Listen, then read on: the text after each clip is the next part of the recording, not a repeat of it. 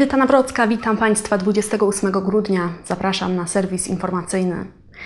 Rada Powiatu Wałbrzyskiego podczas ostatniej tegorocznej sesji postanowiła przenieść głosowanie nad budżetem na 2013 rok i nad wieloletnią prognozą finansową dla powiatu na styczeń.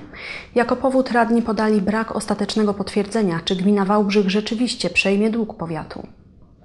Trzy z czterech powiatowych komisji nie zaopiniowały budżetu pozytywnie ze względu, jak mówili radni, na brak ostatecznych sformalizowań w sprawie przejęcia długu. Radny Bartłomiej Grzegorczyk stwierdził, że Rada Powiatu nie otrzymała żadnej pisemnej informacji, czy zostało to załatwione. Ze względu na brak opinii komisji wycofano głosowanie z porządku obrad. Jeżeli chodzi o funkcjonowanie powiatu, to nie, nie będzie miało żadnych w pierwszych miesiącach funkcjonowania żadnych skutków, ponieważ, tak jak już mówiłam tutaj przed chwilą, e, jednostki funkcjonują na podstawie planu finansowego, który jest tworzony e, w ramach tego projektu budżetu przedłożonego Regionalnej Izbie Obrachunkowej i Radzie Powiatu Wałbrzyskiego.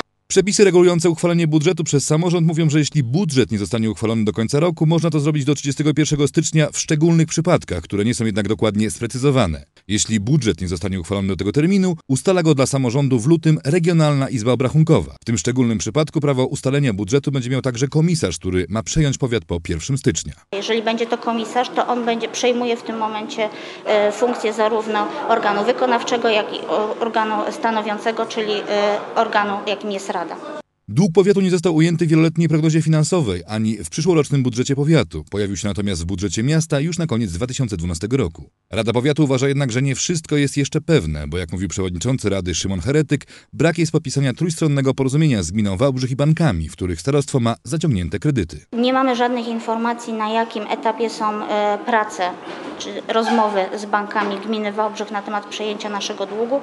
Jesteśmy po prostu w patowej sytuacji, tak bym to określiła. Budżet ma być zbilansowany, wynosić niespełna 40 milionów złotych zarówno po stronie wydatków, jak i dochodów, ale wykazano w jego części opisowej, że w ciągu roku powiatowi zabraknie ponad 9 milionów złotych. Radni i zarząd powiatu wyrazili obawy, że już w pierwszych miesiącach roku może zabraknąć środków na funkcjonowanie powiatowych domów dziecka czy na zimowe utrzymanie dróg, a w konsekwencji niedobór grozi paraliżem nowego ziemskiego powiatu. Powiat na starcie w styczniu ma e, deficyt e, w wysokości 1,4 budżetu.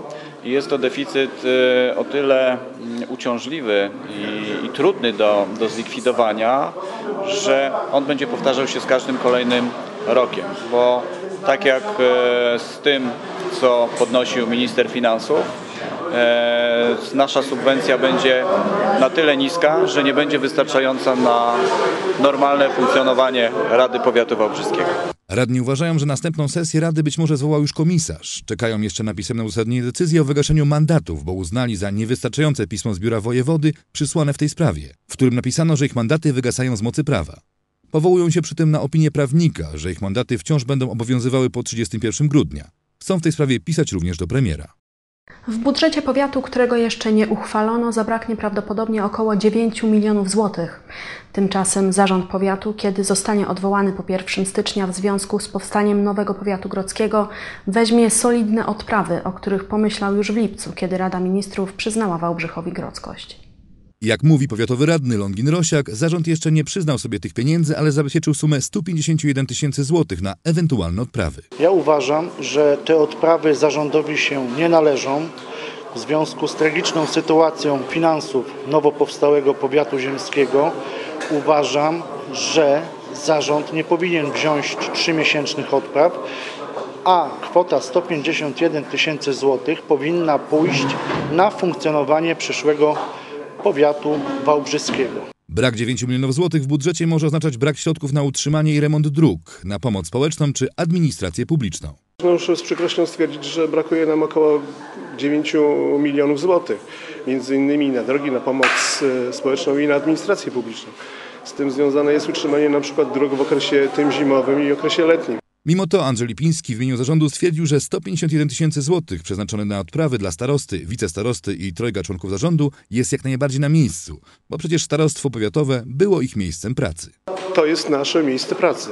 Ja na przykład zrezygnowałem ze swojego miejsca pracy. Miałem e, funkcję kierownika Zakładu Gospodarki Komunalnej Mieszkaniowej w Mieroszowie. Przechodząc tutaj, zrezygnowałem ze swojego dotychczasowego e, stanowiska i y, jestem normalnym takim samym pracownikiem jak pan i wszyscy inni i takie odprawy nam przysługują. trzymiesięczne odprawy i mamy tutaj odpowiednią no, opinię prawną, ale ja nie robiłbym z tego żadnej sensacji. To jest normalnie typowe. Ktoś odchodzi i coś się mu należy. W tym przypadku odprawa. Spore wątpliwości budzi także przeznaczenie środków publicznych na wydanie kalendarza ze zdjęciami członków zarządu powiatu i pracowników starostwa. Powiem tak, ja uważam, że bardzo fajna promocja akurat Starostwa Powiatowego. Kalendarz e, został przygotowany. Takie kalendarze wydawaliśmy co roku. E, W tym e, roku na, posłużyliśmy się akurat pracownikami, którzy chcieli uczestniczyć w sesji zdjęciowej i taki kalendarz przygotowaliśmy. Takie kalendarze przygotowują każde instytucje, urzędy, czy Urząd Miejski, również inne zakłady pracy, spółki w Wałbrzychu. Ja nie robiłbym z tego żadnej sensacji. To jest naturalny proces. No w ten sposób promuje się starostwo powiatowe. Sprawdziliśmy, jak mijający rok ocenia prezydent Wałbrzycha i miejsce radni. Po raz pierwszy od e, 30 lat budujemy żłobki. Ta kolejka do żłobków jest już e, coraz mniejsza. To pokazuje, że była potrzeba ogromna, żeby te żłobki wybudować. To był rok, w którym podjęliśmy wiele trudnych wyzwań, że wspomnę tylko zmiana sieci szkół. Trudny temat również dla mnie. Mamy to za sobą. To był rok, kiedy przygotowaliśmy i wprowadzamy w życie bez kłopotów, przynajmniej na razie, ustawę śmieciową. To, z czym nie poradził sobie Wrocław, to, z czym niektóre gminy do tej pory się borykają, my e, przygotowaliśmy dobrze. To jest również rok, w którym e, udało nam się dopiąć przetarg na komunikację e, autobusową. Pozyskaliśmy 20 nowych autobusów, 30 kilka wyjedzie nowych za e, praktycznie 2,5 miesiąca. Mamy nowego przewoźnika, od 29 e, grudnia będziemy mieli nowy rozkład jazdy. Mam nadzieję, że e, lepszy niż e, do tej pory, lepiej odpowiadający potrzebom mieszkańców. Wiele, wiele projektów będzie dopiero jakby ujawniało swoją wagę i wartość e, w 2013 roku. Ale ten rok był rokiem najtrudniejszych decyzji. Mamy je za sobą. Za to chciałbym i mieszkańcom e, podziękować za wsparcie, za cierpliwość, ale również moim współpracownikom za pracę, za oddanie, za poświęcenie. Bardzo zły był to rok dla Wałbrzycha. Oczywiście cieniem się kładzie cała historia ze szkołami. Przede wszystkim e, z likwidacją szkoły 31, gdyż tutaj okazało się w końcowym efekcie, że to nie chodziło o żadne finanse, o żadne powiedzmy sobie sprawy demograficzne, czy ta szkoła jest wypełniona, czy nie, tylko postawienie przez prezydenta na swoim tak zwane ja wam pokażę, gdyż koszt przeniesienia tej szkoły no, był bardzo znaczny i de facto teraz koszt utrzymania tej szkoły jest duży. Pieniądze na modernizację budynku po 31 nie będą z dotacji, tylko będą z budżetu mia- miasta, czyli wszystko wyszło na minus. Generalnie w tym roku było, jak dla mnie, za dużo fajerwerków, a za mało chleba. Jedyną taką, co bardzo pozytywnie odbieram, inicjatywą jest budowa tych budynków socjalnych, gdyż no to dla, dla Wałbrzycha, mi się wydaje, jest, jest priorytetem. Nie możemy mówić przede wszystkim o wydarzeniach jako wydarzeniach, ale pewnego rodzaju procesach, które zaistniały i które zaczynają funkcjonować w naszym mieście, począwszy od reform administracji, a także innych e, ważnych, e, e, ważnych procesów infrastrukturalnych, czyli przebudowy infrastruktury miejskiej. No, możemy powiedzieć, że zachodzi bardzo pozytywne zmiany. Oczywiście najważniejszym wydarzeniem jest przywrócenie praw grodzkich miastu Wałbrzychowi, ale oczywiście to jest też proces, ponieważ tak naprawdę wszystko to, co będzie związane z grodzkością będzie miało miejsce w przyszłym roku, czyli cała reorganizacja i administracji, i, i pracy, e, i funkcjonowania miasta. Myślę, że wszyscy zauważyli, że y, Wałbrzych y, się zmienia, że mnóstwo rzeczy w Wałbrzychu idzie ku dobremu.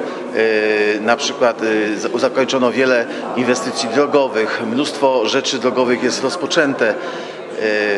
No, troszeczkę zawirowania przy Aquazdroju, ale, ale, ale też sytuacja jakby idzie ku dobremu.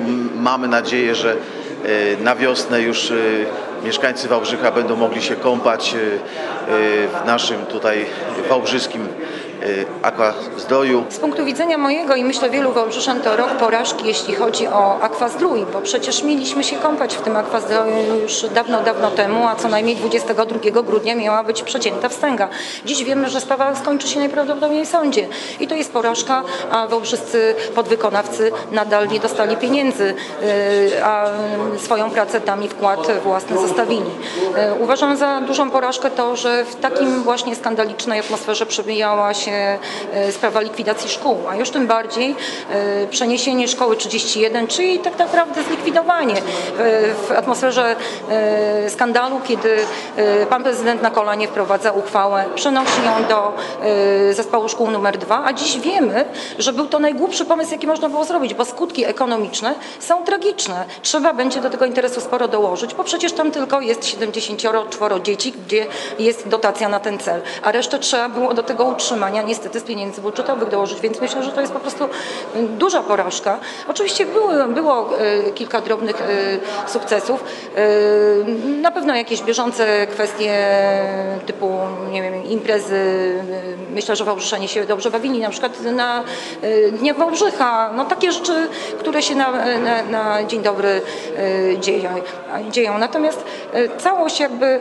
powiem szczerze i wprost mnie rozczarowuje. W czerwcu zdjęliśmy bardzo wiele inwestycji drogowych. Mówimy o tym, że wiele się rozpoczęło, ale tak naprawdę to wykonaliśmy tylko w tym roku dokumentacje, których nie wiem, czy w całości wszystkie zrealizujemy w 2013 roku.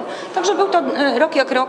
Uważam, że mógł być zdecydowanie lepszy i realniejszy do wykonania, gdyby nie to, że jak zwykle y, władza potrzebuje PR-u i kiedy ogłasza y, realizację budżetu, zazwyczaj przerysowuje to, co jest w stanie wykonać. Poprosiliśmy mieszkańców Wałbrzycha o podsumowanie roku 2012 i ocenę, czy był to rok sukcesów, czy porażek.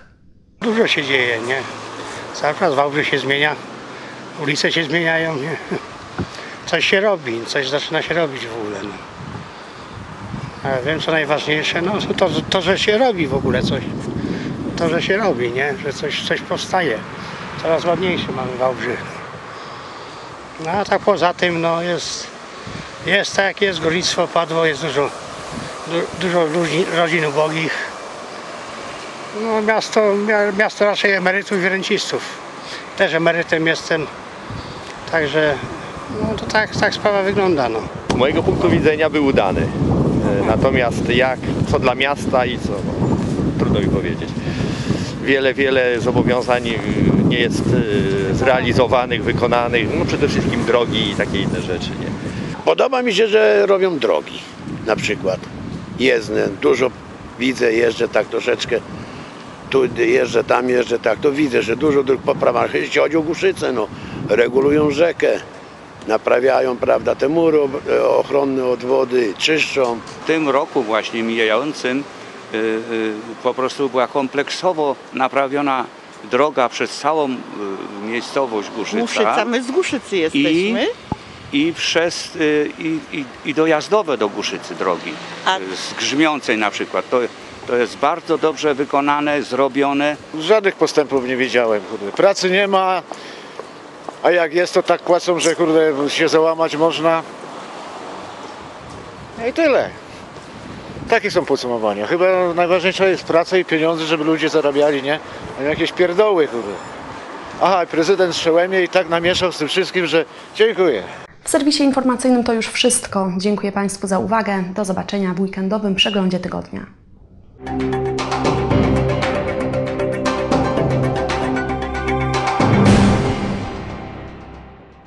Prezenterkę uczesał salon fryzjerski René, Wałbrzych, Piłsudskiego 50.